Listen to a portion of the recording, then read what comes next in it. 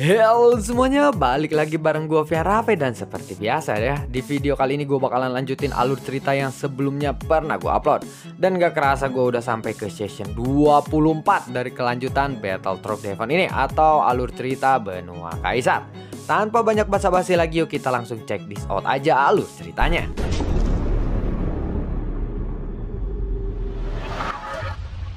Di episode sebelumnya Xiaoyan yang melakukan pelatihan bersama sang permaisuri.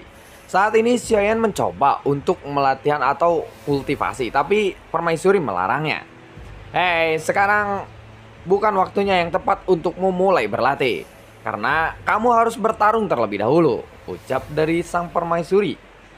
Xiaoyan yang mendengar kata-kata itu dia lalu kebingungan. Hah? Bertarung?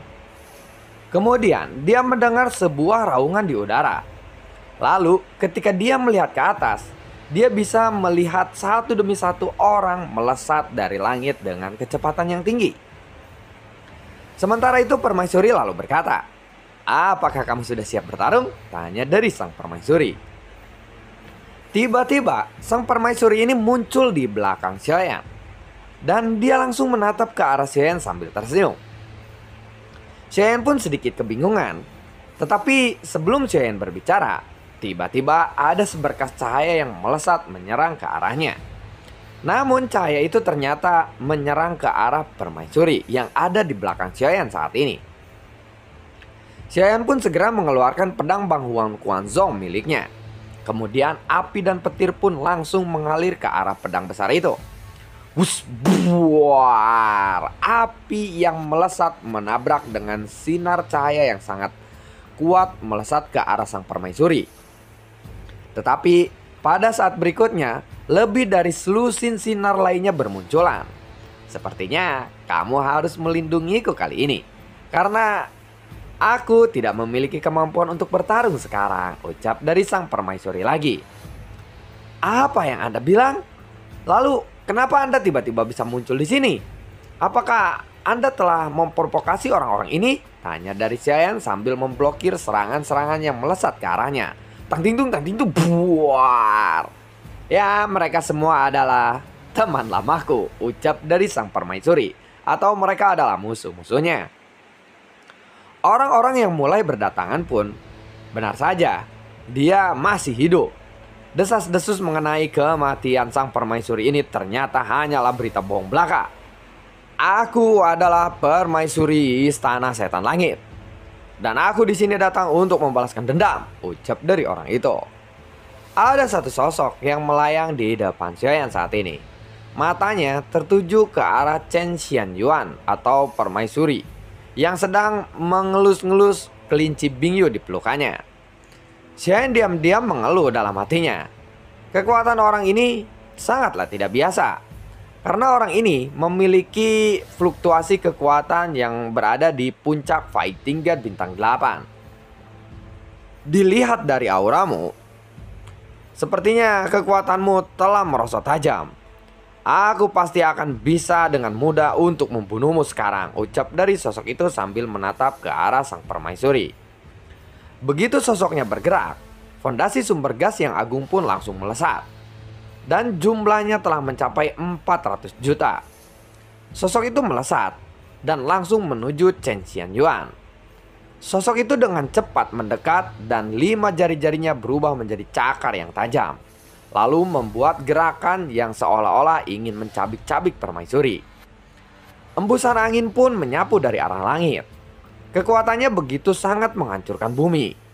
Tetapi pada saat ini, dia menoleh dia melihat ada naga petir yang mengaum ke arahnya. Setan angin merobek cakar langit, teriak dari sosok itu. Naga petir Xiaoyan pun hancur seketika. Tetapi pada saat naga petir Xiaoyan ini hancur, ada petir-petir hitam yang meledak seiring dengan hancurnya naga itu. Petir hitam ini menyapu ke segala arah dan mengguncangnya hingga terpental Eh, beberapa puluh kaki. Setelah menstabilkan tubuhnya kembali, sosok itu lalu mengangkat kepalanya. Dan di depannya sudah ada Xiaoyan yang sedang memegang pedang Bang Huang Kuanzong. Kamu hanyalah petarung tahap puncak fight tingkat bintang 8 saja. Kenapa? Kamu begitu berani ingin menyerang permaisuri Chen Xian Yuan, ucap dari Xiayan. Setelah mendengar kata-kata Xiayan ini, sosok itu juga sedikit terkejut. Hah? Apakah kamu tidak bercermin? Kamu sendiri hanyalah seseorang fight tingkat bintang 7. Tetapi kamu sudah berani untuk menghalangiku kali ini, ucap dari sosok itu. Kalau begitu, biarkan aku yang hanya seseorang fight tingkat bintang 7 tahap awal ini mengalahkan kamu yang berada di tahap puncak fight tingkat bintang 8. Jika kamu kalah olehku, maka kamu akan malu jika bertemu denganku lagi suatu hari nanti, ucap dari Xiayan. Chen Xian Yuan mendengar apa yang dikatakan oleh Xiayan ini, senyuman cerah muncul di wajahnya. Dan itu benar-benar sangat uh, mengejutkan sang permaisuri. Karena pada saat ini, dia tampak benar-benar melihat sosok yang dia kenal dahulu kala. Hanya karena Xian mengucapkan sepatah kata seperti itu saja, permaisuri sudah merasa sangatlah bahagia. Seolah-olah Xian benar-benar bisa melindunginya atau perasaan yang seperti itulah. Kamu benar-benar mencari mati rupanya ya, ucap dari sosok itu. Setelah mendengar ucapan Xian, ekspresi wajahnya menjadi lebih suram lagi. Dan sumber gas yang agung pun di belakangnya segera naik ke arah langit, berubah menjadi angin berwarna hijau. Tornado hijau penghancur, teriak dari sosok itu. Ukuran tornado itu berkembang sangat pesat, sehingga mencapai ribuan meter dan menutupi langit. Ekspresi Xiayan menjadi lebih serius lagi. Bagaimanapun, bahkan dengan kekuatan Xiayan, fondasi sumber gas Giant itu hanya mungkin bisa 100 juta saja. Sedangkan sosok di depannya ini memiliki fondasi sekitar 400 juta sumber gas. Namun dengan dukungan kekuatan fisik Xiaoyan yang sangat kuat saat ini, tiga hard flame dan juga Su Tianlei atau uh, ya Su Tianlei hard thunder, Xiaoyan tidak merasa takut sedikit pun. Xiayan juga ingin mencoba sejauh mana kekuatan fisiknya saat ini dan dapatkah dia mengalahkan seseorang fight tingkat bintang 8 di tahap akhir atau tidak. Fight tingkat bintang 7 tahap awal akan menantang seseorang fight tingkat bintang 8 di tahap akhir. Ini sangatlah lucu. Dengan perbedaan kekuatan seperti itu, tidak mengherankan mengapa sosok ini tidak menganggap keseriusan atau niat dari Xiayan ini. Karena perbedaan kekuatan antara keduanya memang terlalu jauh. Sampah fighting tingkat bintang 7. Aku bisa saja menghancurkanmu berkeping-keping dengan satu gerakan ini. Di kehidupanmu yang selanjutnya nanti, jangan pernah lakukan hal bodoh seperti ini lagi, ucap dari sosok itu. Tornado biru lalu menutupi matahari dan langsung menyelimuti Xiaoyan. Orang ini langsung menggunakan skill bertarung dengan kekuatan yang sangat mematikan untuk menghancurkan Xiaoyan. Jelas, dia tidak ingin membuang waktu terlalu banyak dengan Xiaoyan ini. Dia ingin langsung membunuh Xiaoyan dengan satu gerakan saja. Melihat ini, tatapan mata Xiaoyan sedikit menyempit. Saat menghadapi tornado yang menutupi langit ini, telapak kaki Xiaoyan pun melangkah satu langkah saja. Skill 7 langkah dewa, teriak dari Xiaoyan. Sebelumnya, Xiaoyan mampu melakukannya sampai langkah ke-6. Tetapi sekarang, dengan kekuatan fisik yang lebih kuat lagi, Xiaoyan akhirnya mencoba skill ini sampai langkah ketujuhnya. Xiaoyan mengambil 5 langkah berturut-turut. Dan 5 bayangan kaki raksasa pun di udara langsung membordar bardir tornado hitam itu. Dadedok, dadedok, dadedok, buar. Suara ledakan yang membengkakkan telinga tiba-tiba bergema. Dan lima bayangan kaki raksasa itu menginjak-injak begitu keras sehingga tornado itu pun tiba-tiba terhenti. Tetapi tornado hijau itu pun segera memotong kelima bayangan kaki raksasa milik Xiaoyan ini. Sosok itu lalu menunjukkan ekspresi menghina. Lalu dia menyemburkan sumber gasnya lagi dan mengubah tornado lainnya menjadi lebih besar lagi. Melihat itu, Xiaoyan pun langsung berteriak. Langkah ke-6, ucap dari Xiaoyan. Langkah ini adalah batasan Xiaoyan sebelumnya. Meskipun masih ada beberapa kesulitan untuk melakukannya saat ini. Namun ini bukan batasan Xiaoyan sekarang. Meskipun begitu, Xiaoyan masih merasa agak sangat sulit untuk uh, menggunakan skill langkah ketujuhnya. Bukan karena kekuatan fisiknya yang tidak bisa menahan, tetapi sumber gas di dalam tubuhnya yang akan terkuras hingga puluhan juta dalam sekejap. Saat melakukan skill langkah ketujuh itu, meskipun konsumsinya sangatlah besar, jika dibandingkan dengan langkah keenam, langkah ketujuh itu juga akan beberapa kali lebih kuat. Dededo, dededo, buah, bebe, bebe, 2000, 2000. Langkah keenam mulai muncul. Bayangan kaki raksasa yang jauh lebih solid melangkah menjauh dari udara menuju tornado hijau itu. Dan sebuah kekuatan ganas pun menyapu dengan sangat panik. Pada saat ini, ekspresi wajah dari sosok itu sudah terlihat sedikit serius. Karena dia tidak menyangka bahwa Xiaoyan ini bisa menampilkan skill bertarung yang begitu kuat. Padahal dirinya hanya mencapai fighting tingkat bintang 7 saja. Pada saat ini, Xiaoyan mampu bertarung dengan tornado hijau itu. Dan serangan ini terus melakukan perlawanan ya antara serangan Xiaoyan dan juga antara uh, serangan dari tornado milik wanita itu. Keduanya berakhir seimbang. Tentu saja, Xiaoyan secara alami dirugikan pada saat ini karena Xiaoyan tidak bisa bersaing dengan sosok itu dalam hal fondasi sumber gas. Melakukan skill ini saja itu sudah langsung menghabiskan sebagian besar fondasi sumber gas milik Xiaoyan ini. Kemudian Sutian Lei yang berada di 18 urat nadi poin milik Xiaoyan ini menyatu dengan sangat liar. Dan ini menyebabkan kekuatan fisik Xiaoyan meningkat hingga batasnya. Dan tiba-tiba Xiaoyan pun langsung mengambil langkah ketujuhnya. Langkah ketujuh teriak dari Xiaoyan. Begitu suara Xiaoyan ini terdengar, Bayangan telapak kaki raksasa di udara menimbulkan angin yang sangat kencang. Kekuatan yang bisa menghancurkan segala sesuatu di dunia ini pun meraung lurus menuju tornado hijau itu. Tekanan yang dipancarkan bayangan kaki raksasa ini saja sudah beberapa kali lebih kuat daripada tornado hijau itu. Buar ketika bayangan kaki raksasa milik Xiaoyan ini menyentuh tornado hijau itu, Wajah sosok itu pun langsung menjadi pucat. Dan dia melihat bayangan kaki raksasa di udara dengan sangat ketid dengan ketidakpercayaan ya. Tornado hijau itu melawan dengan sangat kuat, tetapi begitu dia menyentuh bayangan kaki raksasa langkah ketujuh tornado hijau itu mulai runtuh. Seluruh tornado hijau setinggi ribuan kaki ini lalu terempas. Saat tornado hijau itu hancur, Sosok itu pun langsung ketakutan dan ingin melarikan diri. Tetapi Xiaoyan tidak memberinya kesempatan untuk melarikan diri. Yao Bing teriak dari Xiaoyan. Yao Bing hanya bisa bertahan selama 3 detik saja kepada sosok itu. Namun, hanya dengan 3 detik saja ini sudah cukup bagi Xiaoyan untuk bisa melumpuhkan sosok itu.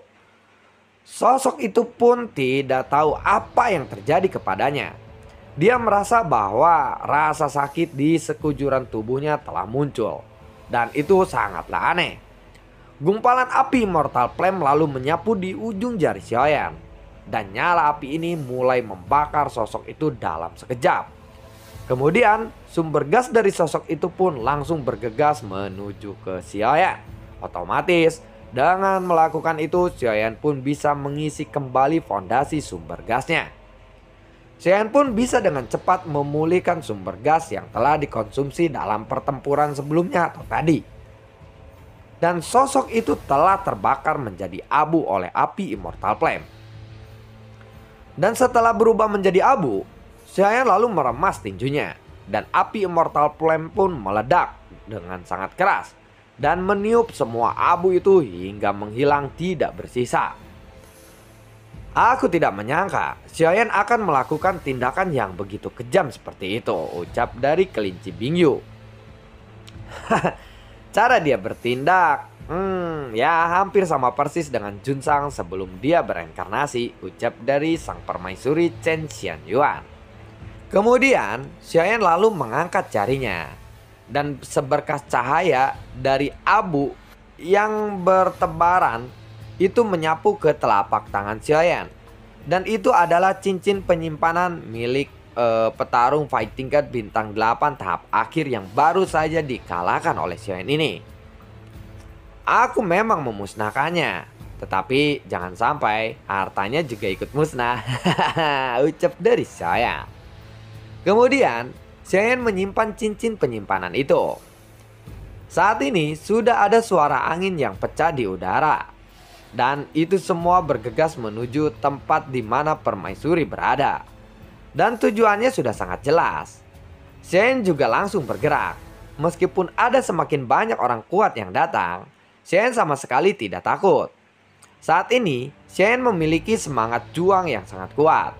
Dan dia tidak terlalu terobsesi untuk meningkatkan sumber gasnya terlebih dahulu. Pertarungan sengit macam ini pasti akan bisa menghabiskan sumber gas. Namun untungnya ada Immortal Flame. Selama Xian membunuh semua orang ini dengan cara dibakar oleh Immortal Flame, Xian tidak akan kekurangan sumber gas sama sekali. Karena tubuh Xian saat ini sudah tidak lagi mengalami kemacetan. Fondasi sumber gas Xian juga telah meroket lebih dari 2 juta karena pertarungan barusan.